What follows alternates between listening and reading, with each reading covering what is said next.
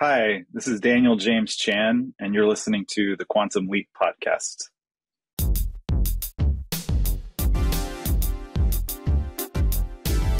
Hello, Leapers, and welcome back to the Quantum Leap podcast, Quantum Leap After Show. I'm Albie, and as always, with me is Hayden, I think.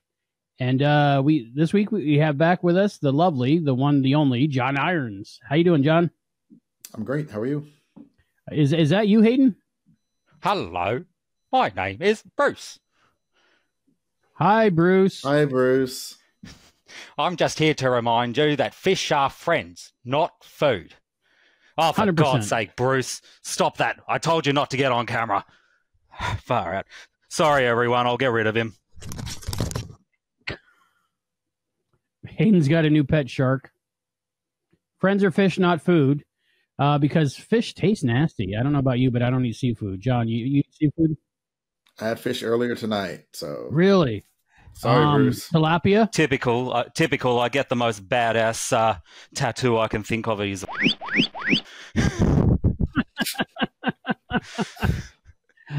You got a haircut, Hayden. Yeah, well, I went to Thailand a couple of weeks ago, and uh, tr- long hair and tropical climates don't mix. So, Tell me about it. Tell me about it. I'm overheated as well. All right, Yeah. today we're talking about season two, episode two, Ben and Teller. well, you're not even going to ask about the tattoo first. Uh, did it hurt? Um, yes and no. Most of it was okay. Um, for context, I don't know if any of our leapers have been following, but I had some very bad scarring on my back for many, many years. Uh, it's from when I had some cancer cut out of me. Um, I might even give you, Albie, some uh, some pictures of the before and after. You can put them up, um, just Oh. just for context. And uh, it was in like the shape of the the head of the shark. So I thought I might make it as the the mouth with the mouth open, the scarring, but uh, it ended up fitting better as the shape of the shark itself. And so yeah, my shark bite, which is what I called it, is finally a shark bite. That's crazy. I'm very Um, happy to get those disgusting scars off my back, I'm allergic both to shark. figuratively and literally. I'm allergic to shark. Yeah, I, break love out shark. in tooth marks. Delicious. I break out in tooth marks. Yeah, fish and chips here. It's always with flake, and flake is a type of shark. Yeah, yum yum. So yeah, Bruce, if you rails. shit me, I'm eating you. I'm just letting you know. We're already off the rails. I just read your message. Okay. Um, today we're talking about the Quantum Leap episode, season two, episode two of the new series, Ben and Teller. I thought this one was going to be about magicians. It is not. It's about a bank teller. Uh, it's almost like they told us in the title. And we also have a great interview tonight with Sophia Castro. She edited the great episode SOS, if you remember that one, the one on the submarine with Superman. And she edited tonight's episode, Ben and Teller. And uh, she's done a few more episodes, and we'll talk about that in our interview later on. So uh, definitely want to stick around and check that out. This one was written by Andrita Mercurgi and uh, directed by Kristen Wendell. And the editor was uh, Christina Castro. And uh, of course, cinematography was by Anna M. A. So we had a really good team on this episode making it. So um, that's that's what we're talking about today. I want to get uh, John's first impressions. Welcome back to the show, John. Everybody loves you. I love you. We all love you. Thank you. Uh, I what are your first impressions of uh, Ben and Teller? I liked it. I liked the the story. I liked it was a, a relatively small, uh, intimate. I mean, it was a bank heist, but it was you know it was a family story, kind of. Um, I like the story. Um, I had some issues with it, just visually, actually. Um, but I thought the acting was good. I thought the writing was was was good. Um, I liked the back at HQ stuff as well. So um, I, uh, I wasn't on for the for the season premiere episode, but I loved the season premiere episode. Um, Well, that makes this one was still. that makes most really of us. Uh, Uh, I, I listen, sorry to interrupt you, John, but uh, Hayden, I, I listened to a bunch of different Quantum Leap podcasts about this episode, and it seems like you're the only one that didn't like it, but that's okay. That's your opinion. Okay, back to you, John. Everyone else No, is that- allowed to be that's- wrong. uh, that, that's that's pretty much it. Um, I liked it overall. I've got a couple of complaints here and there, but overall, really good episode. Good, good. I'm sure we'll talk about those things. Uh, Hayden, what did you think of Ben and Teller? Well, I liked this one a lot better than the previous episode, and I think it actually is because of the fact that we got so much more from the project. I know that a lot of people had been complaining in season one that they didn't like having such a heavy focus on the project. I'm exactly the opposite. I want to see more project. I want to see more from uh, from Jen and from Ian and from Addison and from Magic. Um, I want to know what's going on with them, and I want them interacting with Ben on the leap. So um, that's part of the reason I didn't like the previous episode very much because yes, it was very leap heavy, but it just wasn't the one who I was invested in. I'm more invested in the project people at the moment. I don't know why.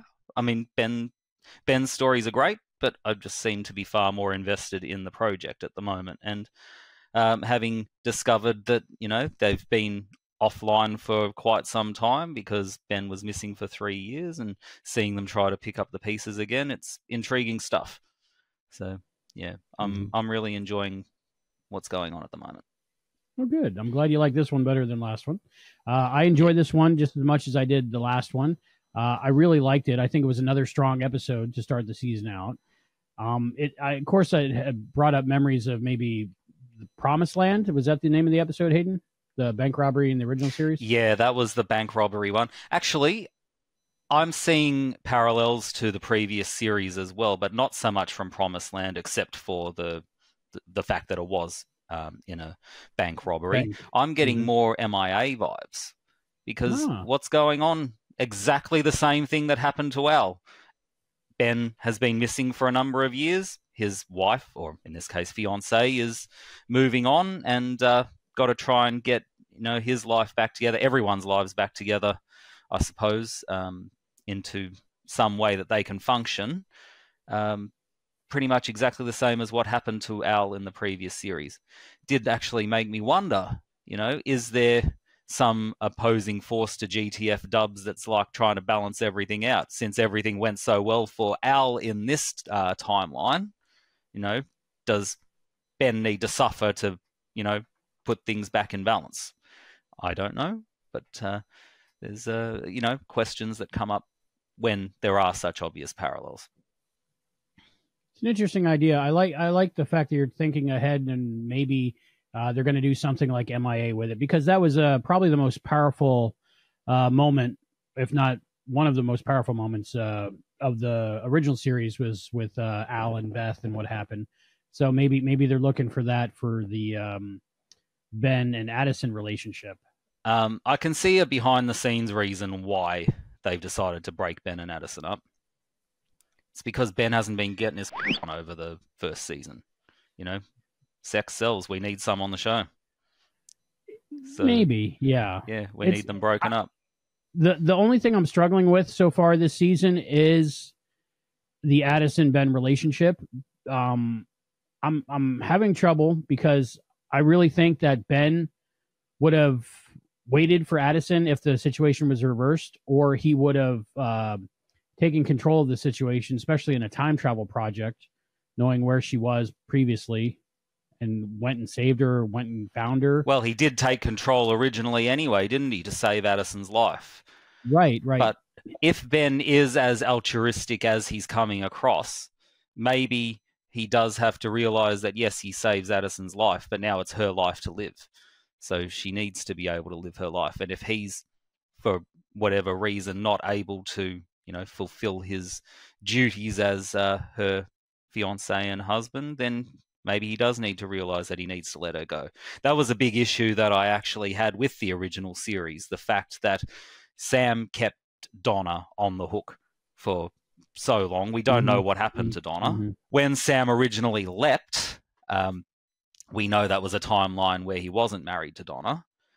But uh, I think it was in the previous episode we saw a flashback of Magic and Ben talking about you know, what was Sam thinking when he left and left Donna? So obviously that timeline changed, but obviously, you know, he had to be there because he had to put that timeline in effect anyway. Uh, but you know, how does he justify leaving his wife and uh, you know with the possibility of never coming back, and then Ben essentially does exactly the same thing.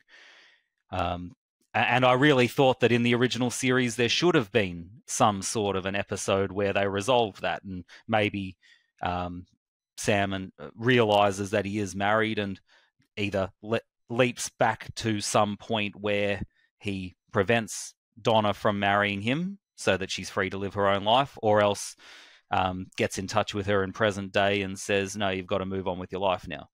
So, because it did seem very at the time very. Mm, Mm, what's the word I'm looking for? It, it, it, I think it would have hurt more the fact that he helped Donna get over her daddy issues, but then does exactly the same thing, which you know caused her to have those issues in the first place. If that makes sense, which is the abandonment. John, what do you think about Addison moving on? I'm fine with it. I'm fine with her moving on. Three years is a long time. It also it, it seems kind of quick for you know the the the Buffy angel level true love that mm-hmm. they seem to be displaying. Um, but also, you know, I get it. If she was in the depths of despair, and um, new guy kind of helped pull her out of it, I I get it. Um, I feel like three years is like the least amount of time they could make that a reasonable argument. Like if it if it had been a year, that would not I wouldn't have bought it. And and three years, I guess, is understandable. Yeah, and remember in the leap back, um, when obviously Al's leapt to the same situation that he'd lived through with, you know, coming back from war and finding that his um, fiance's moved on. And they talk about it and he's obviously very bitter until she says i cried my eyes out for you for two years and i still waited another year for you. So i waited three years and that seemed to be enough to you know snap him out of it and you know make him forgive at least that woman whether or not he forgave beth i don't know but i suppose he was more on the path of healing you know I, so i agree with you john that three years seems to be about the right amount of time to help you know it, it seems to be the statute of limitations. yeah, I was wondering. Um, I guess I'm in the uh, I'm in the not hating camp. It, I don't I don't dislike the stuff at HQ as as much as a lot of fans do. I like the stuff at HQ, but I also enjoyed last week when it was all about the leap. Uh, this year was a was a good mix.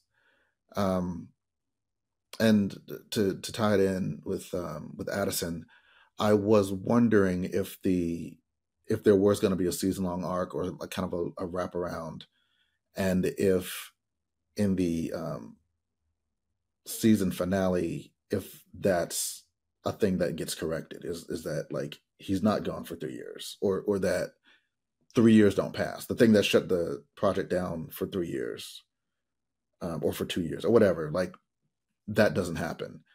And so Addison's not with uh, not with new guy. Is it Tom? Tom. Right, Tom. Another Tom. uh, so I so that I'm I'm wondering if they're gonna um, you know timey wimey that and and uh, fix it at, like later in the season. I actually don't know about that, John, because I think uh, I, we haven't heard very much about GTF dubs throughout season one, except for what Magic said. But at the start of season two, in Deborah Pratt's narration, um, she did state that there is an unknown force leaping him around to put things right that once went wrong.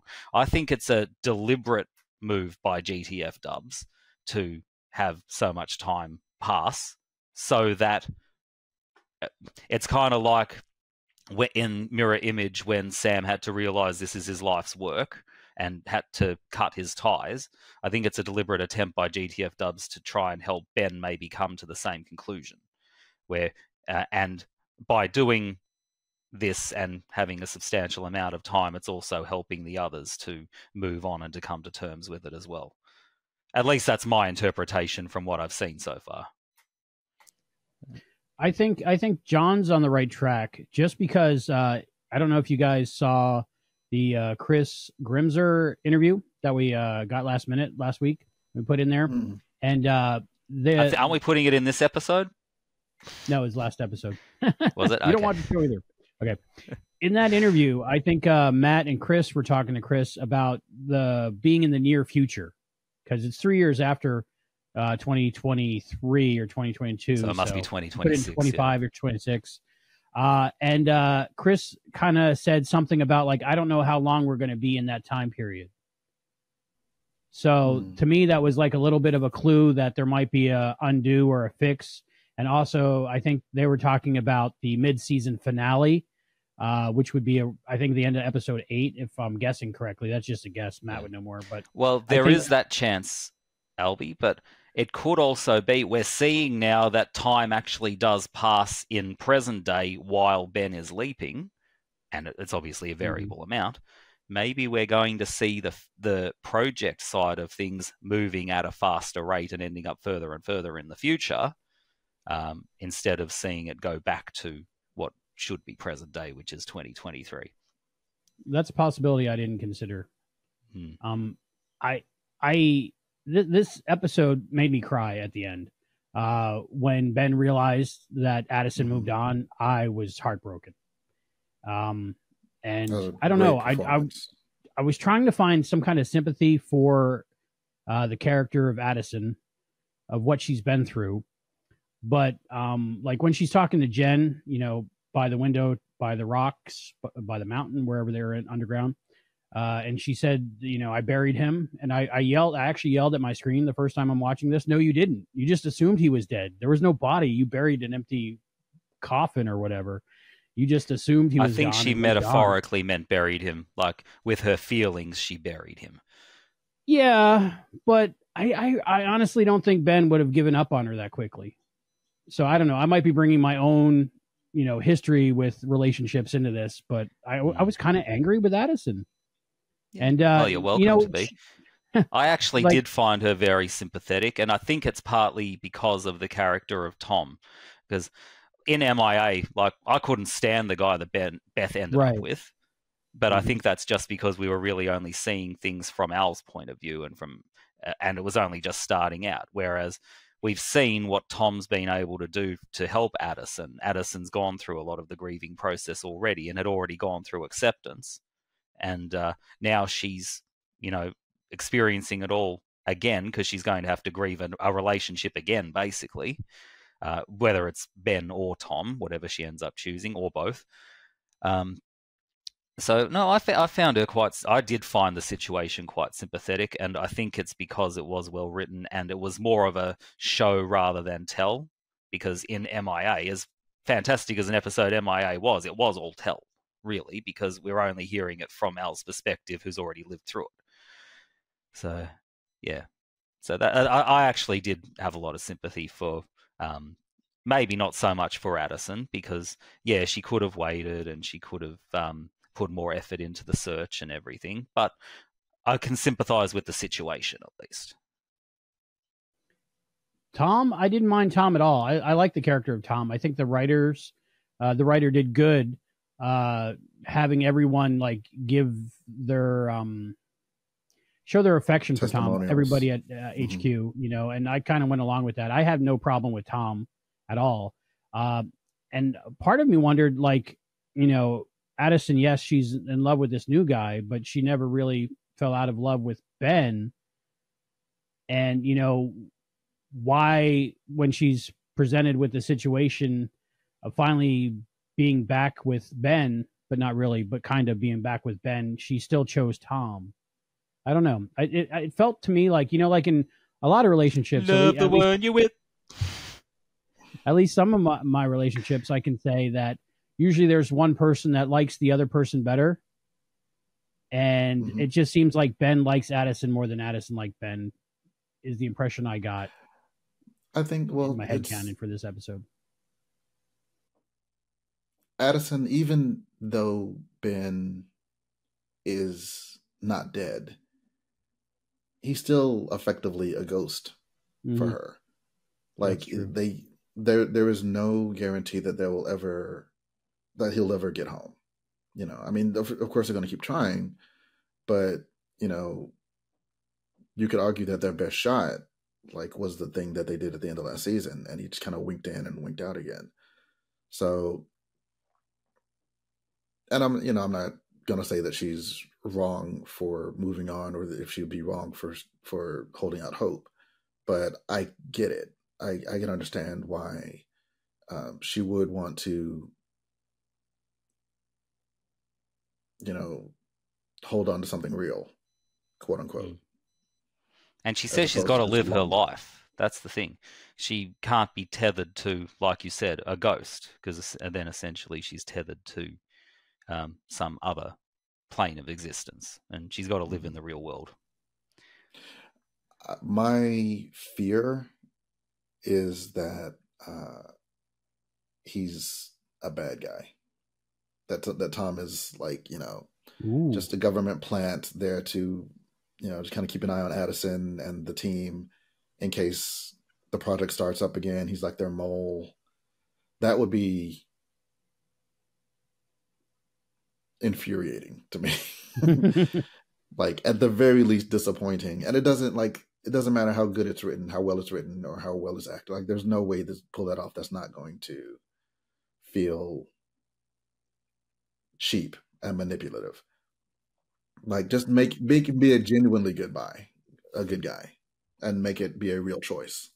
I think he's probably a good guy because something that jumped out at me in the, the last episode was that Ian didn't show up until Ben had actually completed the leap and completed the mission and uh, got the uh, managed to save all the military people. So I actually think that in Ben doing that action, that's what enabled Tom to get involved in um, Addison's life, I guess, um, because there seems to be some sort of a military connection there, uh, and also helps to get the project going again. So I, I, somehow think it's all connected, like he's laying the the track for the train to run on with each leap. I'll be interested to see how things do progress, but I have a feeling that it's connected, and I think that without Tom there, they wouldn't be able to get the project running and to help, you know, Ben to complete his leaps. At least that's the interpretation that I'm getting. I haven't actually made the found the missing link yet, but I do think it's there. That's a good thought, John, because he's on like a texting basis with the head of the FBI. So there, yeah. there's a lot more to his backstory than we've seen so far, I think. Yeah, I mean, I'm I'm hoping that he is as he seems, because mm-hmm. like you said, like like like everyone on the team is is is all like uh, Team Tom. So mm-hmm. I hope that I hope that that's deserved. Yeah, and speaking of backstories, like the one that's currently on my back, um, if you want to see if you want to see any more, you've got to subscribe to my OnlyFans, onlyfans.com slash canpakes, who are also our sponsor for today's episode. Uh, so um, yeah, onlyfans.com slash canpakes uh, and also quantumleappodcast.com slash canpakes. They've got some great mm-hmm. deals there at the moment. Have we got any interviews for today, Albie? And now we're going to that very special interview with Christina Castro, editor of Quantum Leap. Ooh.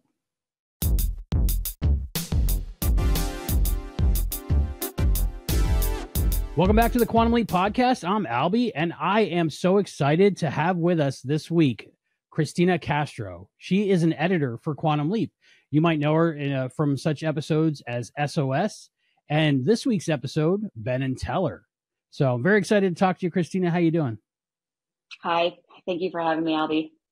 I, I, it's a pleasure. I really, it really is. Uh, we, we love everybody involved in Quantum Leap and everybody that does it. And, uh, me being an editor, I'm a professional editor, professional editor.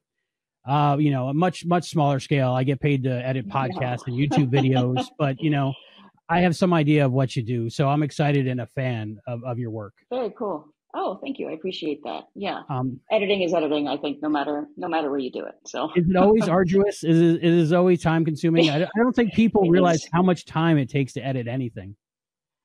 I think I think that's right, and I'll, I also um, people don't realize how repetitive of a task it is. Mm-hmm. Um, so my loved ones are always like, "What are you possibly listening to? Repeating the same thing over and over and over again. I just drive everybody batty, but uh, it's fun for me. So. Uh, I know how I got started in editing it, just uh, making my own podcast. And when you're when you're a podcaster, there's no money in it, so you just you learn to do everything yeah. yourself. So pretty much, I earned my ten thousand hours before I started getting paid for it. You know, working on my own stuff. How did you get started in like post production and, and and editing specifically? Yeah, I took um, the expensive way. I went to film school. Hmm. Um, so uh, yeah, right out of high school, I went to film school. I did an accelerated program, um, got my bachelor's in three years, um, and then immediately started struggling like uh, everybody else, and just you know took whatever uh, work I could get uh, until I could eventually move down to LA. Um, I'm from Ventura County, so I was up there, um, and yeah, through some wild twist of fate, I ended up here. So I'm very, I'm very grateful for that. Yeah. That's awesome. Um, uh, I was checking out your website and your IMDb, and I was noticing I have seen a lot of things you've edited because I'm one of those uh, oh, like film nerds that uh, can't wait okay. for the movie to be over when I have a Blu-ray or DVD, and I just want to oh, get to the special features and stuff. stuff. Yeah, yeah, and I recognized a lot of the things you edited. Uh, what's it like uh, cool. doing that kind of work? that actually was uh, very cool. I did that. That was kind of my how I met um, my contacts into being able to switch from that type of work to scripted television. Um, so yeah, I, it was it was actually really cool as you know, obviously a film fan myself to be able to to watch all of the behind the scenes. What so what I did was behind the scenes uh, EPK, uh, DVD special features, marketing material, uh, creative content is what we call it. And um, yeah, it was just a really great gateway to watch how professional filmmaking is done and, you know, to learn like how stories are made, you know, because during that time we were we were really fortunate and I say like it doesn't exist anymore. It still exists. Those people are still there doing great work. Um, but uh, it was, you know, they trusted us with full feature length movies that were in the editorial process at the time. So um, we got to see how. I mean, it it depends on what your interests are, right? But I got to see how the edits changed throughout, right? As I was updating my pieces, marketing pieces for the internet and and TV and stuff. So it was really actually very exciting and, and very cool to watch that stuff. And now to be on the other side of it is is just like so special to me. Um, are, are you a nerd like me? Do you, do you, do you like uh, get excited when you see all these like famous people that you're editing, like David Tennant or Sigourney Weaver? Yeah, it was uh, actually I am a huge Doctor Who fan. Uh, and David Tennant is my doctor. So that was really, really cool. I didn't get to meet him, obviously, but right. um, as an editor, and I'm sure you can relate to this, mm-hmm. you you feel like you know the people that you're watching in like mm-hmm. a totally non creepy, maybe to some people creepy way. Yeah. Um, and so it's really cool spending time with them, so to speak. Um, so yeah, I got to I got to cut uh, David Tennant. I got to cut Johnny Depp a few times. Oh wow! And yeah, it was lots of Disney stuff. Uh, it was a lot mm-hmm. of fun. That job was a lot of fun. Very a cool. lot of work, but a, lot of fun. a lot of work. Billy Crystal, all kinds of people. Uh, yeah, really, Billy Crystal, cool. John Goodman. Yeah, yeah, yeah cool stuff. Do you get surprised uh, with those kind of things, like when when you're editing those? Because I know for my job, like you know, like one night I might edit LeVar Burton another night, Terry Crews for something on different podcasts or something. I'm just, sure. oh, that's who I get to edit tonight. Do you get surprised by it? Or with your work, yes. uh, is it more of like um, you kind of know what project you're going into and who you're going to be cutting? Both. Yeah. So both. So, um, like going into this show, we, unless we're looking at the call sheets and looking very closely, paying very close attention, um, the guest roles, etc., um, can be a surprise to us. So um, we've got some really great guest roles coming up this season. Um, and last season, we got to do uh, SOS, which had Mhm. Superman in it, which was just like just the coolest thing. Everybody was so excited to see him on our show, and he did such a great job. And it was it was really it was really a pleasure. It's really a pleasure getting to watch all these different um, actors, you know, work and see their process. Great, great action packed episode too. Very good. Um, Yeah, thanks. uh, how did you make the jump from uh, doing like featurettes and different things like that to uh, television, like full episodes? Yeah. Um, so that job that I had, you know, you just you make contacts, you know, you're in it long enough and you meet people, you know, so you make friends, you meet people through work, you meet people through school.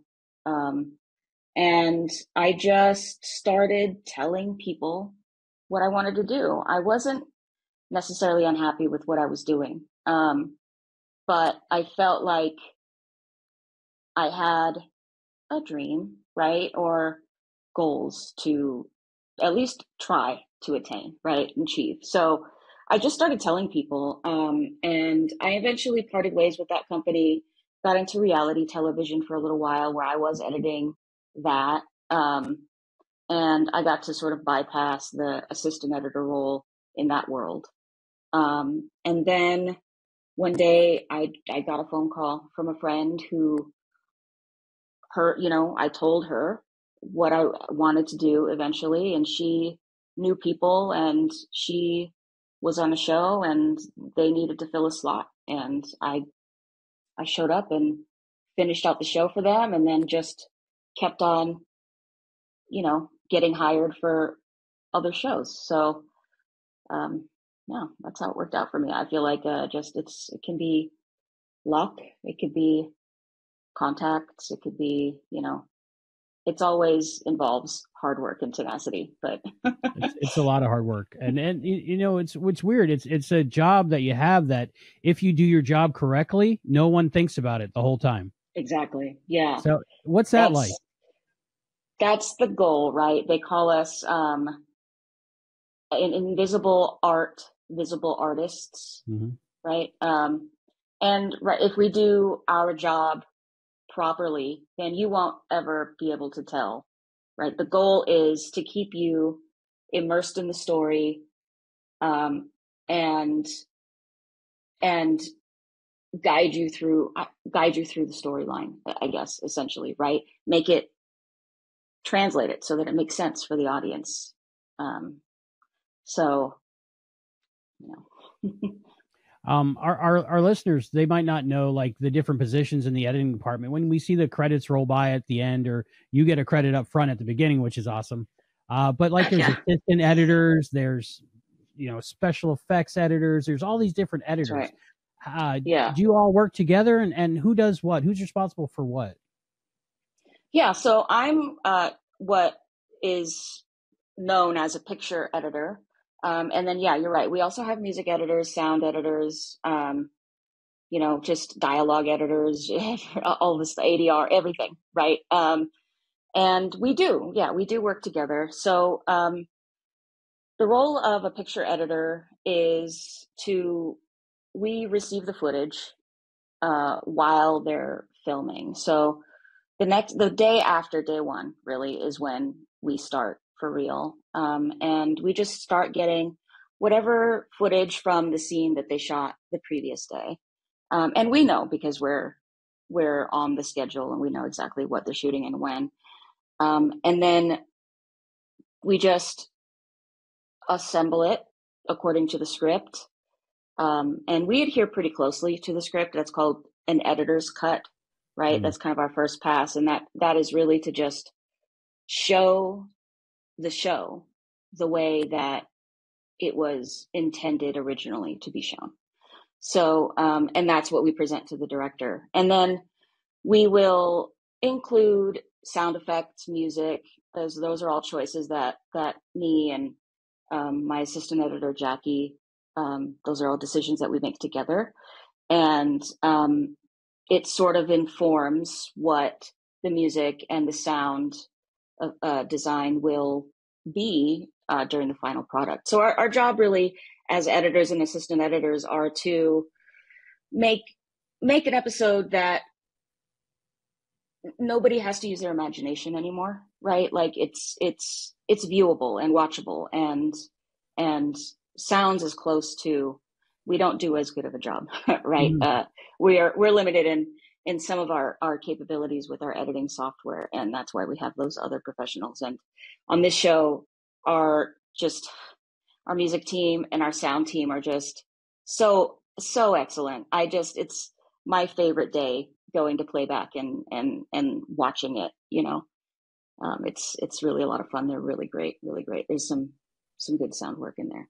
Uh, so, uh, as I understand it, you have a editor's cut, a director's cut, and maybe a producer's or final cut. Are those the same thing? How, what's the whole process? How many different cuts before it airs?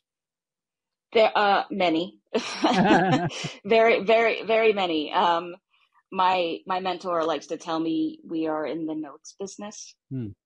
So we'll do an editor's cut, um, which is which will last the duration of the shoot, which on our show is typically about eight days, give or take, plus okay. a few days, give or take, and then um, that goes to the director. Um, they're given their allotment of days, four days or so. That goes to the producers. They take as much time as they need, really, you know, schedule permitting and then it'll go to the studio network um, and then it, it it goes out just dozens of times before anything airs on tv yeah and then everybody you know sort of gives their ideas and, and collaborates on how to make it better Oh, good. A lot of notes. Yeah, I, I get a lot of notes as well, so I know what you're talking about. It's so nice when you don't get that many, though, right? You know, I. It depends. I've definitely yeah. had I've I've been on both sides of it, right? We all have like uh mm. the it's always great when you hear no notes, right? But then it's like are you sure? you know, maybe maybe somebody else wants to contribute something to mm-hmm. this. Um and so yeah, there will be it it really depends on um what state the script is in. Mm-hmm. Um and just any issues uh, that they might have had during production you know, sometimes things don't go as planned and you sort of have to adapt and, and work around it. So, uh, sometimes, you know, there's no time and we get one or two takes and those are the choices mm-hmm. that we have to choose from. yeah. Uh, uh, speaking with Dean, he was saying that some, you know, some episodes come in long, uh, on the first cut, uh, and you know they got to cut what nine, ten minutes out. I think I've heard in some cases. Mm-hmm. Uh, when you're when you're putting the show together and you're following the script, I think is what you said pretty much. Um, are you yeah. are you like in the back of your head? Are you thinking you got to get under a certain amount, or are you just trying to get as good as a story as possible to start with, to give the director and producer room to cut what they think they should cut? Yeah, that's a really good question. Um, both. We um, so yeah, like I said, we we try to adhere to the script as best as possible. Um, our jobs as editors are to present the script, and you know, directors will will make choices that we have either spoken about before, they're in the script, or just by watching the footage are very obvious that they'll want in there. So yeah, our our, our editors cut are typically for episode two. It was quite a bit over. It was about 11 minutes over oh, wow. time. Um, mm. And uh, not something I'm very proud to admit, mm. but it's it is what it is. And yeah, together we just we took the time out, and um, I think it plays really well. I think we were able to keep the tension, and actually, it, it plays a lot better, you know, with more pace to it. Mm-hmm is uh like the footage that you use and stuff like preserved? So maybe one day if they were to do like say director's cut or editor's cut releases the, the material's still there. Yeah. Yes it is. Um so we find we finalize the final cut.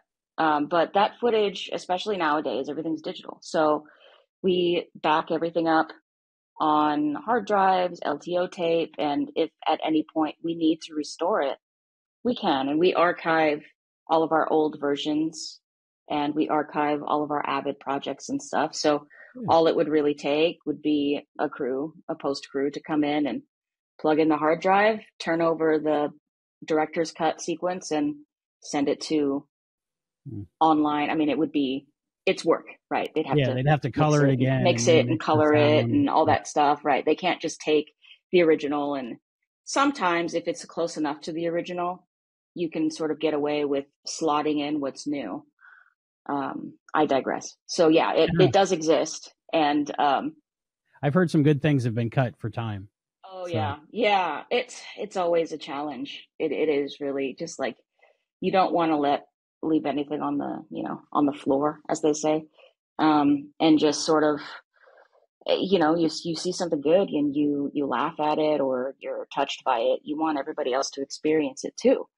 Um, so it is hard letting go of some stuff, and it's that's it's it's probably one of the biggest challenges I would say is just is is letting go of it and just trying to make the most like succinct you know story that you can hmm.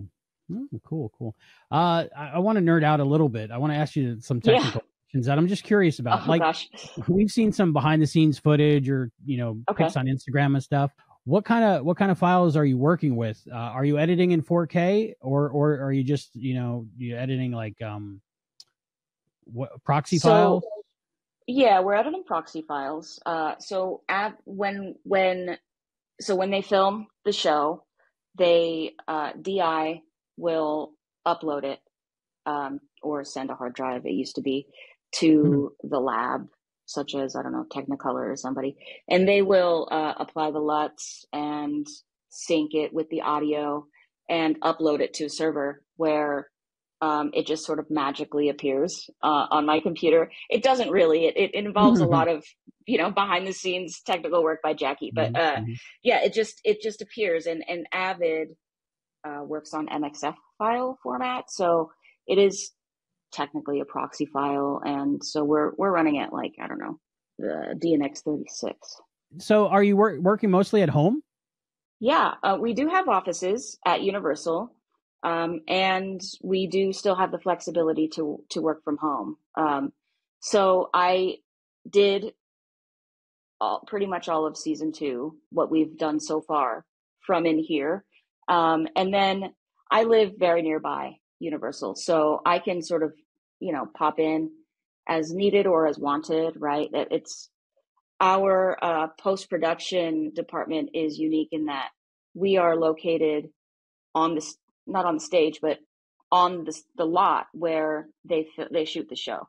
So um, we're very close proximity. Usually they shoot in somewhere else, Canada or Chicago or somewhere, um, and post production is here. But this show they shoot on the lot for the most part and locally, and then uh, so yeah, we get to visit set and stuff, which is oh wow, so fun. Yeah, it's super cool to get to watch them do that stuff everyone I've spoken to from Quantum Leap, they seem to be very kind and supportive of each other. Do you get that feeling working with this team?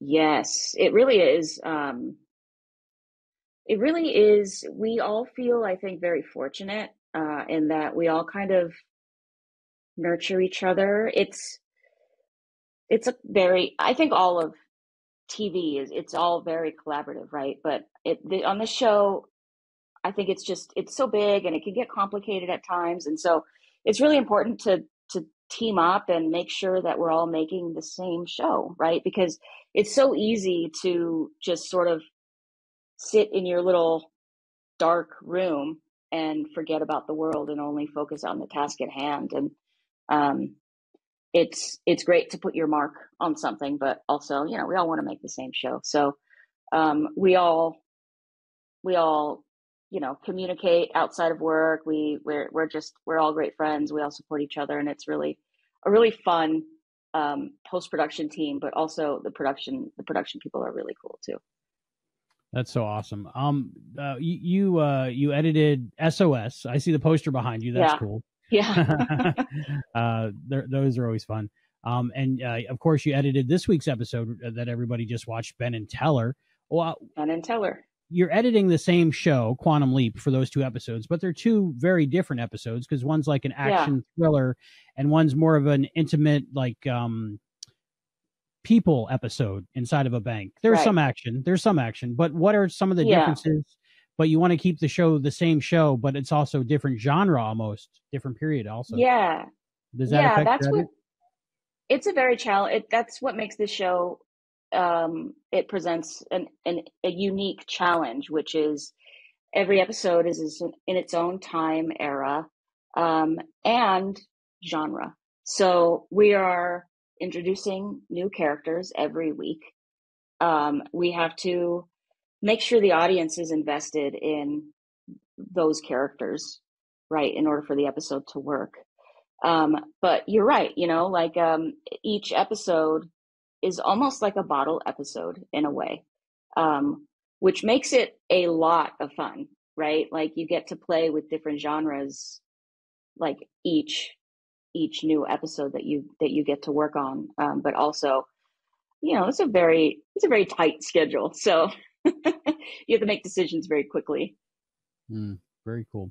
Uh, another random question I had. Uh, you know, we've we've been very fortunate here at the Quantum Leap podcast to see very early cuts of episodes, uh, like with stock footage and different things, temporary special yeah. effects, maybe, or just a card that might say something right. going to happen. yeah. Uh, uh, when you're editing, uh, are you like in charge of finding stock shots that might not be the final ones, but one that works for the edit at the time, or is that your assistant, or how does that work? Yeah, um, I'm I'm not in charge of it per se. I the the assistant or our production or post production coordinator or uh, post PA, you know, Gabby and Esmeralda.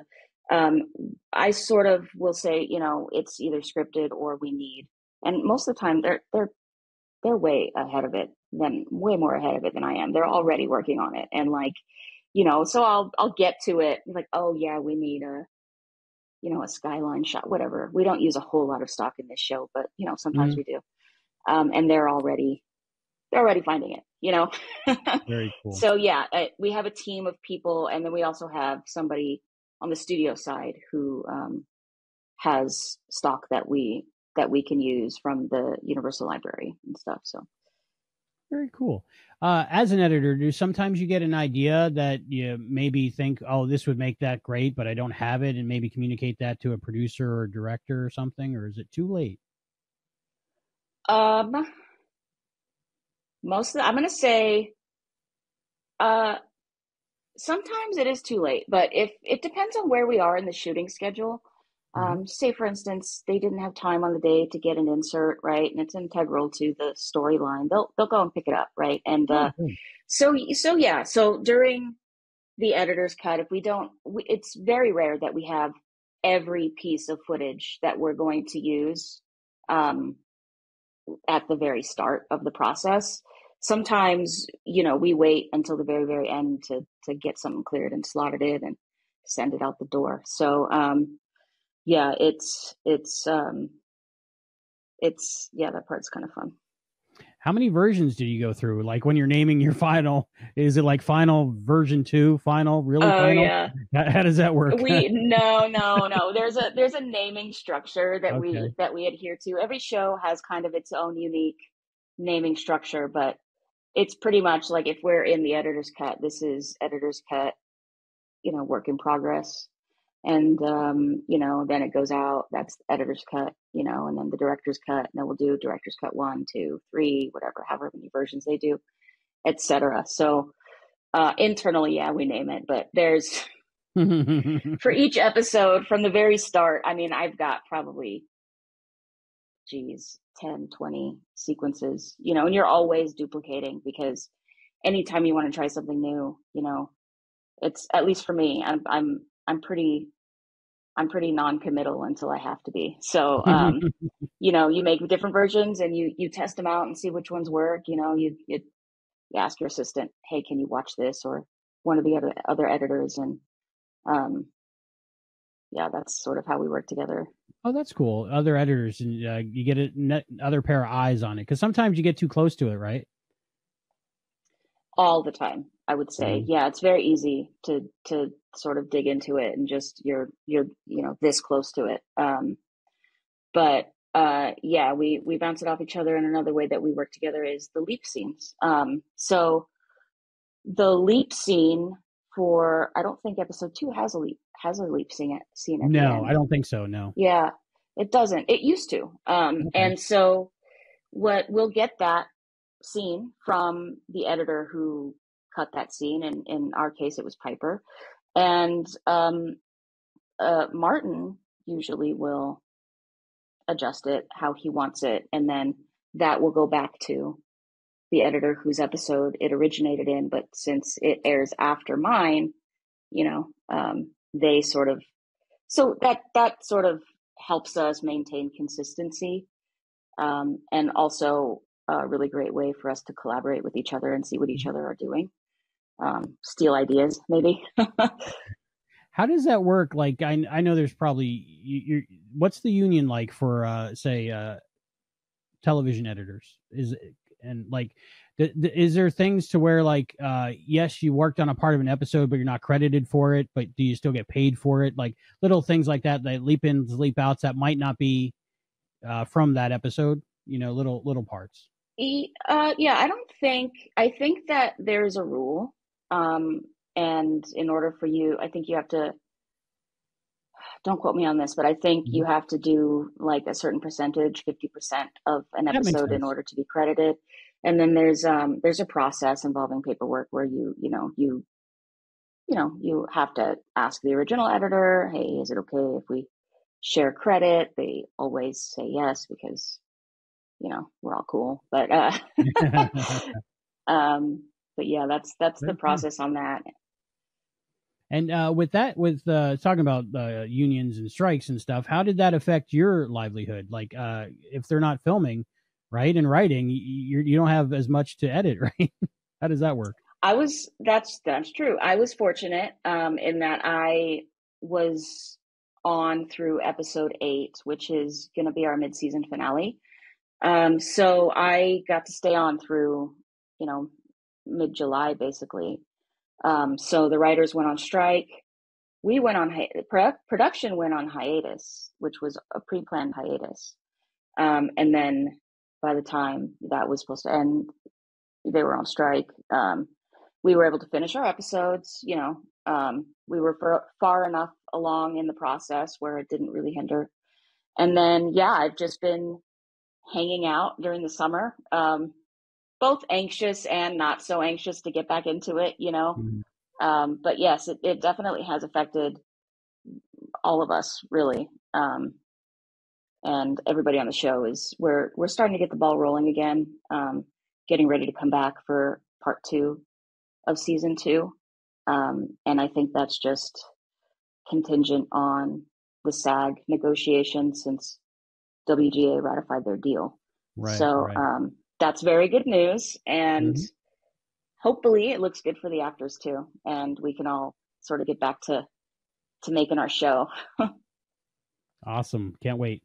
Uh, one thing I was very uh, happy about is that the first three episodes were done and out to the media so early, which means, uh, you know, the post production is really ahead of the game, which is great instead of like down to the last minute almost. Um, right. Uh, how far ahead are you?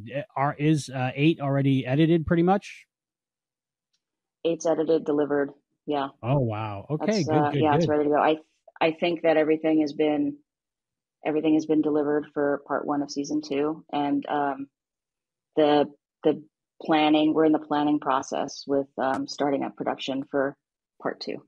That's amazing. That's awesome. So uh, hopefully I'll get to see some of those soon. Uh, yeah. Uh, Me I've too. Seen up, I've seen up to three.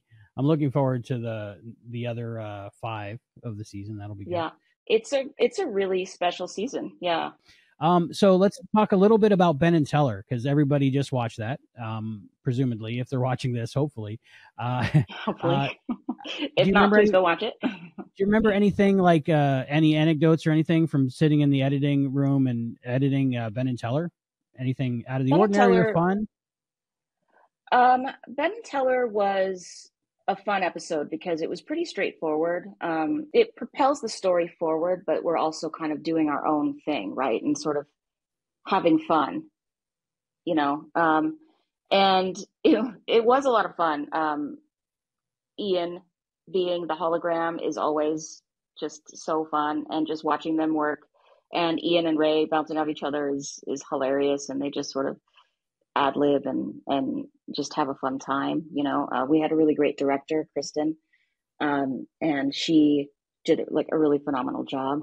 Um, she's somebody who also comes from an editing background um, and somebody who was in my orbit, in in Martin's orbit. Everybody's, you know, he had worked with her before, um, and I finally got a chance to work with her, and it was seamless and great. And she just made like a just a great episode. So I felt very comfortable and and and confident being in her hands.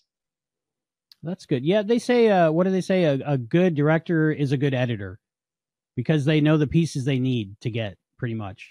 Right? I think so. In my in my limited experience, mm-hmm. it, it it it really is the sign um, of a good director. I think when they can edit as they're shooting, right, or as they're in pre-production. Um, their blocking is also very important, and a really great director will give you only what they want you to show, right? Um, and sort of weigh your hand almost in in what you use where. Um, and the role of an editor, I think, is to help bridge what the director wants um, and what the showrunners want, and and sort of meld them together and and and make our show. Uh, there's a am, am, I uh, right in understanding there's two different director of photographies on Quantum Leap? I, I know Anna. Uh, Anna, yeah, Anna shot yeah. our show. Right. Yeah. Um, ben and Teller. It's actually funny. I think uh, that the shot where um, Ray then sits at Lorena's desk at the first time, and he's sort of mm-hmm. getting his bearings and seeing what the date is, etc. The picture of um, the mother and the daughter, I think that is actually Anna and her mom. Um, really, I didn't yeah, notice that. I think that's yeah, a, I think that's that. a picture of them. Yeah, that's awesome. So that's really that. special. I, I I just love it when when we get to participate like that. You know. Mm-hmm. Are there are there some edits, not necessarily on Quantum Leap, but some that are better than others that maybe you might have the about the right amount of footage you need, and sometimes you have way too much footage, and it's like a nightmare. Do you have any of yeah. those stories? yeah yeah that's basically that was basically i don't want to say nightmare that's that's not uh, but that was uh, uh, i would say episode 114 was uh mm-hmm. i was drowning in footage uh chris grismer did just he's a beast man he just he i don't know how he does it but he shot that episode it was such a challenge you know they were on the uss montgomery very mm-hmm. tight compact spaces very dark um and just just so, so much footage. Um, Good coverage, uh, a lot of coverage.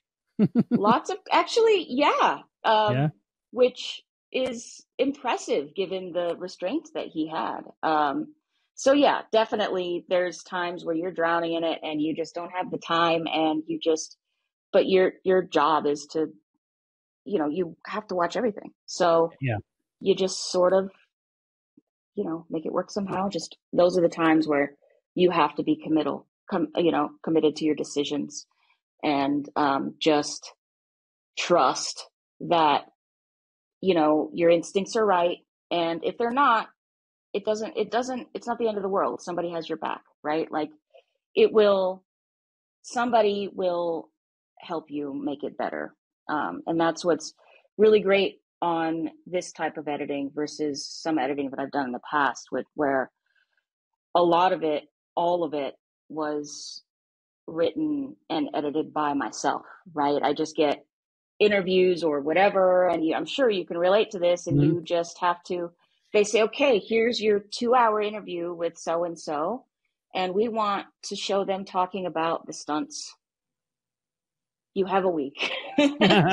so like, you know, and then it's just that's it. And maybe if you're lucky you get transcripts to the interviews and um, you just you you dive right in. Um, and on this type of thing, uh, everybody has their own role and their own um, sense of responsibility to the project and and um, so we you know like i say we all got each other's back and and you just got to stick you got to stick to it and get through uh, but so, yeah, on so, the other hand, there are some scenes that where, you know, they're just wham bam, mm-hmm. you know, and like like some of the HQ scenes, they can be mm-hmm. challenging mm-hmm. because there are rules with HQ. You know, we want to make sure that it's always moving and and engaging and you know, um, but I mean, they, eh, you know, Malcolm and then Rissa and Ernie and everybody, they just, mm-hmm.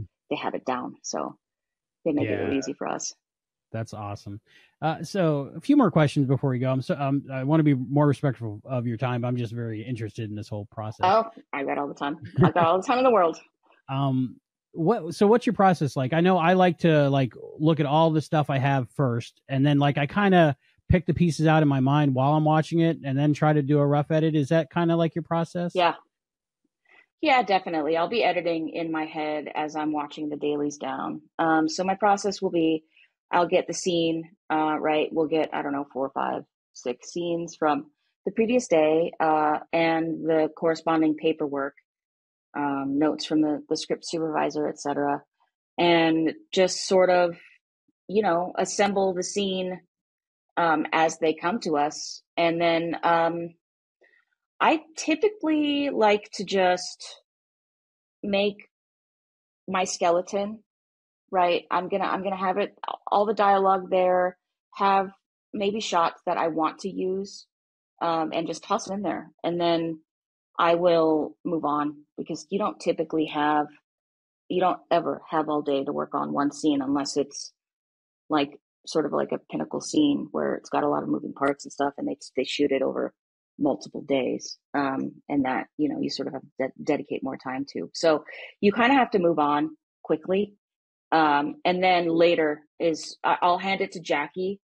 Um, we have, you know, we have great and great editorial team, great assistant editors. Um, Ian Mayberry, Piper Cruz, me, and then um, Catherine, Katie, and Jackie are our assistant editors, and they really just, you know, she will do her sound work on it, and she's great. Like I can ask her to um, go in and hey, I'm having trouble finding the right music. I want it, I just can't, I don't have the time to go through and listen to everything. This is what I want the vibe to be. Um, and then magically she will find it and cut it in and I don't ever have to worry about it again. Um, uh, so it's, it's kind of a multi-step process. And then once we're far enough along into the shooting schedule, maybe we've got like a day or two left um, is really when your episode starts to take shape. And it's during that time where you start to add music, at least for me. Um, I wait until pretty much the very end to add music, and then I, I let the music help propel the the pace of the show if that if that makes sense. Just from i think from my my background in marketing um it was very music heavy and so i just sort of and music is so so important i think to every show we have a lot of it in ours. So um it's just about finding the right vibe and going through and just watching it as many times as you have time to. And if you can watch it with you know together as a team um it's even better and then you just sort of you know it used to be before we started working from home we would all be working in the office together and you know we could just sit on the couch in the office have a big TV, watch it, you know, as though we're watching it at home and, you know, make our notes, etc. But, uh, not so much anymore. So yeah, I, I wait until kind of the end to sort of start taking my air out and, you know, and then going in, we already know what works and doesn't work for Martin and Dean, right? Um, with some, you know, trial and error. Of course, every every episode is different. Um, so that really helps us sort of uh, inform our decisions and, and make them kind of quickly. Are the are the needle drops uh, in in the script, or are you picking them, or is it collaborative, or how does that work? Because there's some expensive songs playing. They got to be expensive. Yeah, they're very good songs in the, they the first season so far. yeah. Um, yes, some of them are scripted, uh, and some of them aren't. Um, sometimes there's not one scripted, but you know, you get to a point in the episode where you think, man, this would be really, this would benefit from a needle drop. Is there money in the budget? Um, and then we'll go to the, the music supervisor and ask them uh, for options, and they'll choose what's available to us and and within our budget, and we can whittle it down from there. Um, so if it's added later, usually it's a collaborative process. You know, they'll send us stuff, we'll pre- present options to Martin, um, and then he'll choose. Right. Um, so yeah, there were there have been some some needle drops that I've, I've tried to get in there and they just they won't stick. But maybe one day, maybe one day, uh, maybe so, one day, yeah. So people have seen uh, SOS and they've seen uh, Ben and Teller. You got a couple more episodes coming in this first part of season two. Without any spoilers, right. could you just say something about them? Oh man, they're so big. Like, uh, yeah, big, good, exciting, something to look forward to. Yes, uh, Ben goes to some really cool places. Um, he he leaves the country, uh, mm-hmm. and we meet some uh, really interesting characters that that really challenge um, Ben and Addie specifically, um, and yeah, we get to see just witch hunts and and and uh, Egypt and the LA riots, and we just go everywhere, and it's just. I'm really excited for part two season of season two because I can't wait to see like, I mean, season episode eight they they shot in Egypt, and that was just so cool for me uh, personally, and just getting to watch it, and that presented its own challenges, but the final product is really fun. I think really special. Do you um I, I know you're seeing everything as it's coming in unedited, so it's much different than what we see. But uh, are are you still getting like sucked into the story sometimes? All the time, yeah. Especially when uh, it's it's yeah. Especially when it's something that um, we have a lot of emotion in this mm-hmm. show. Um, they mm-hmm. like to That's really lean on the yeah the like the character connections with our main cast and also our guest casts. Um so that's always when we were doing 14 you know it was such a special storyline having addie with her dad you know and her dad being brandon was just extra cool on top of that. Um so watching addie sort of internally navigate that like why was he so hard on me when he's like really just this big softy, you know, and um, watching Ben support her through it, um, and just yeah, I I I I love. I agree with you in that the guest roles are are kind of the fun part, right? Because you get to introduce new characters and and and play with new genres and concepts, you know, depending on what what's going on with them. So um, episode two was fun because our challenge there was um, since it's it's not a grand or episode, it kind of pumps the brake a little bit coming out of episode one. Um, was to maintain the tension throughout, you know, while also balancing that that sort of gut wrenching moment, right? That comes on comes in at the end where um, can I can I say they've seen it, right? So mm-hmm. where uh, you know, Ben just really only has to look at Addie and mm-hmm. he knows. Like heartbreaking, heartbreaking. Oh, oh, man, heartbreaking. You know, I cried. And now where, as an audience, yeah, like me too. and mm-hmm. as an audience, like, where do you? um It just we all ship Batty mm-hmm. on our show mm-hmm. is what we call them, mm-hmm. um mm-hmm. and so seeing them challenged is is challenging for us too. Mm-hmm. Job, job well done. Thank you. Thank you. And I didn't, you know, that part did not change. Um, they just, Caitlin and Ray are, they just, they knew what to do. Kristen knew what to do. Um, I, I cut it together and that is what aired. So it, um, really was perfect, I think, from, from you know the word action i think. So uh, it's it's going to be really interesting to see how ben and addie sort of navigate that uh, in the future. Uh, one thing i wonder is um, do you save the the bloopers? Is there going to be blooper gag reels down the line and oh, how man. do you do that? When is it something that makes you laugh yes. or? All the time. Uh, jackie gets to see them more often than me because um, jackie's job is to process the dailies um, and sort of what we what we call mark them up for the editor. Um, so she will uh, she will make a notation whenever they say action is very boring and technical. I think for somebody who's not interested, but um, so she sees every minute of footage, and I see, you know, I will scrub past you know action and cut, but for the most part, I see the action and the cut.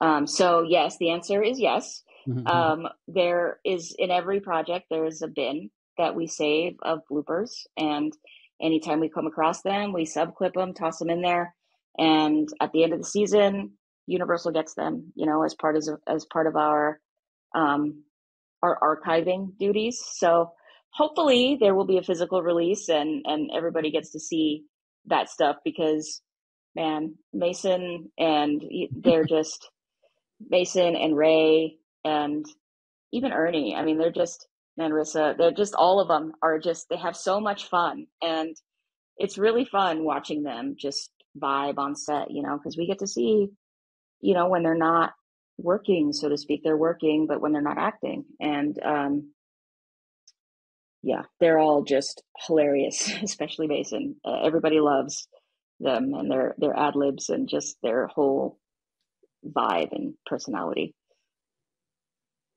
Um, do do you still watch the episodes when they air? Uh, even oh, though yeah. you see them times, yeah. Is that your time to relax yeah. and enjoy, or are you still like looking no. at your work, making sure everything? Still, and... You know, it's both. I I I like to watch it on the TV any opportunity I get as uh, part of the process. It really helps um, when you detach from and leave the environment of like the edit room um, and actually like sit on the couch and watch it as a viewer it changes your perspective and you can you can see it sort of more in line with how the audience might see it. Um, and that's really really helpful but also i like to watch them after the air after they air and just sort of like almost like uh, you're watching like a uh, like your own sports game, right? Mm-hmm. And trying to like improve your game, right? So I, I like to watch and just sort of see what made that episode special, right? Like, man, that director really was able to nail this, that, and the other thing. And look at how beautifully that turned out on screen. Um, and then also, like, you know, oh man, I wish that I hadn't, I wish that I had cut just a hair later, or I wish that that line was on camera, stuff like that. And you're just always, I feel like the work is never done. You always want, you're always going to, unless they take it away from me, I'm always going to be whittling away at it. And um, I think that's, that's a big part of the process for a lot of people and um, learning to let it go and enjoy it for what it is and move on to the next thing is, is, is a challenge in itself, but also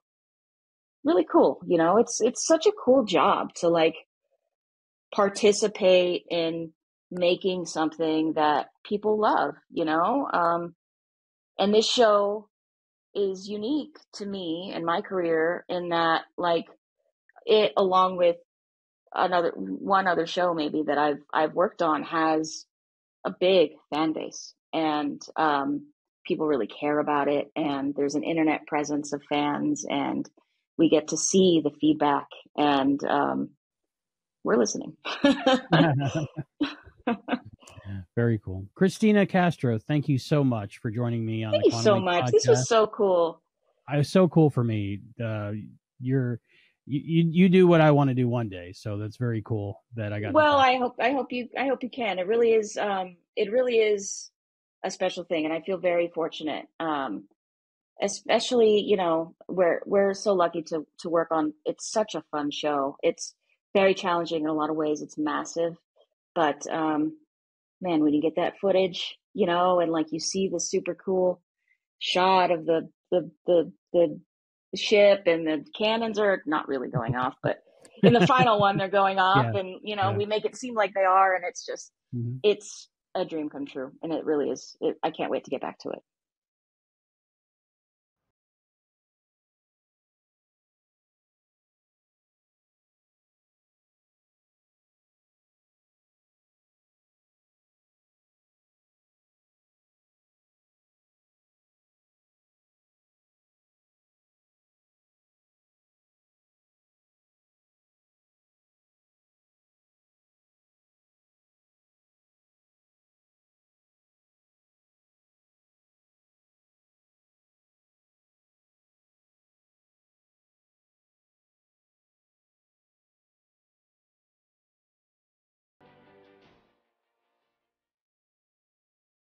Wow, that was a great interview with Christina Castro. It was so cool just nerding out and talking about editing stuff. Uh, great, great person, great guest. So much stuff that I learned and I wanted to know about, and she answered everything. It was like the dream interview, uh, an editor interviewing an editor. It was great. So thank you so much, Christina, for being on the show.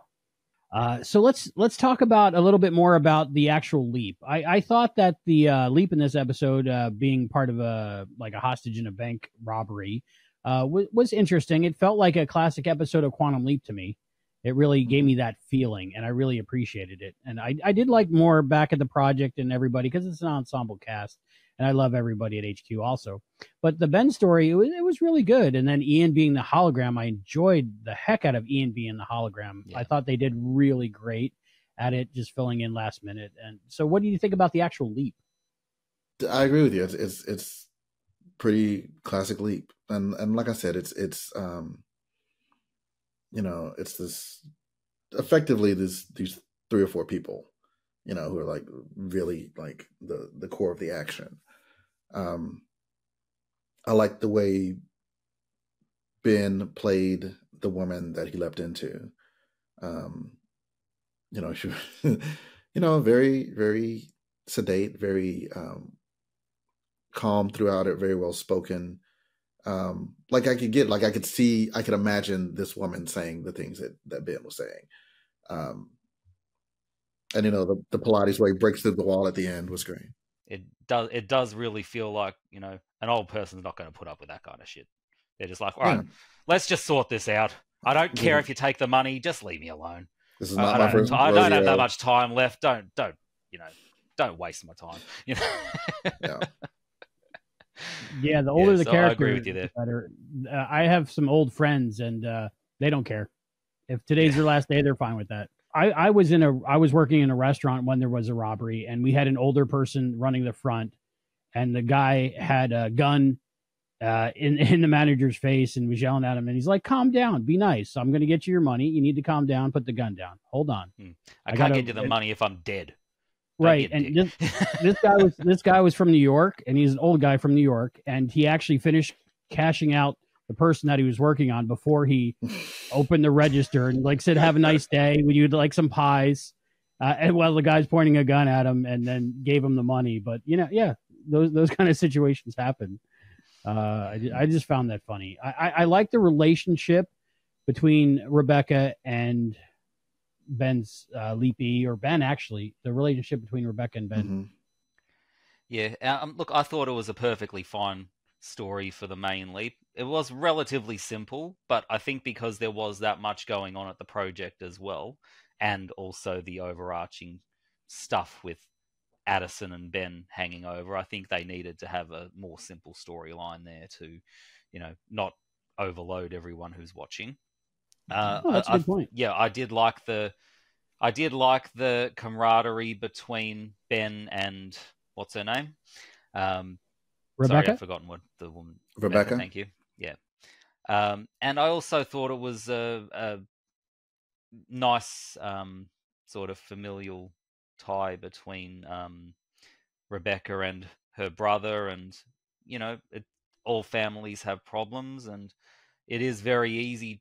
I shouldn't say it's very easy, but it's you do see people kind of getting kicked out of families or you know families eroding and people not talking because of certain decisions like the kid going down a few of the wrong paths but uh, it, it, was good to see that you know they still have each other's back at the end and yeah because because uh, the brother shot the the main robber to try and yeah. save the mm-hmm. sister and the sister was willing to take the take the fall for it so blood can be thicker than water not always but it was good to see on screen, I guess. Why do you think Sean would have went to Rebecca's bank, the the Bank of Tucson, uh, to rob it, and not just a random other bank? Because I I think he they would be more likely to get caught eventually because they could be identified because the one of the bank tellers is the sibling of one of the robbers. You know, it just seems dumb. I guess criminals are dumb to begin with, but it just seems extra dumb to me. I'm I'm I'm headcanoning this uh, that they're in a kind of a smaller town, smaller city, and that's the big bank. Because he's like, you know, it's the it's the payday or whatever. Like this is like there should be a big uh, hall today. So like, Yeah. this, like, this is It this seems is- like everyone the goes bank there for the the area. banking. yeah. So I, I was I was just chalking it up to that. That's just the biggest bank around. Either the criminals are just incredibly stupid, or maybe they thought that having a relative actually working there, um, she might be more inclined to help them.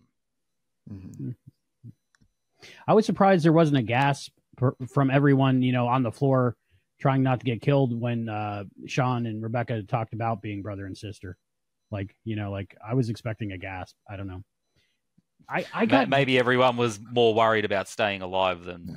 About all the other drama going. the drama. I don't I don't know, and I don't know if they were near enough to hear because they were all kind of sitting Ah, on good the point. floor.